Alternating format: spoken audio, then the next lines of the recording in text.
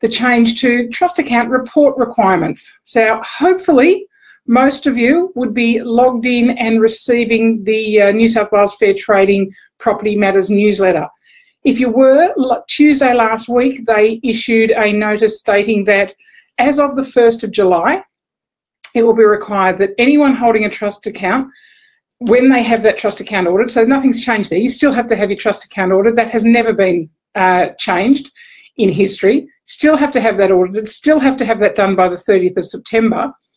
But now it's not just qualified audit reports that need to be lodged to fair trading by the 30th of September. It is all audit reports, whether it's whether breaches have been notified and it's qualified, or if there are no breaches being notified. Every single report needs to be uploaded on the new uh, online uh, tracking system that Fair Trading have, and that will be uploaded by your trust account auditor.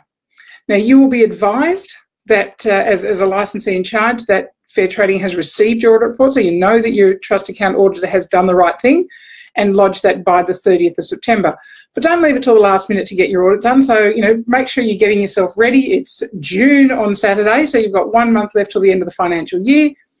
Then start getting yourself ready for your trust account audit from the 1st of July onwards. Get it done early, get it lodged, make sure you're compliant, make sure you obviously keep a copy of that because Fair Trading can ask for a copy uh, for three years afterwards. So if they walk through your door, they want to see that you have a copy of that audit report within your office.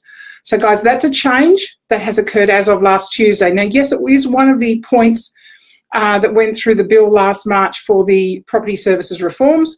They brought it in early or earlier than the rest of the reforms are coming in, and that means that it's of effect of the 1st of July.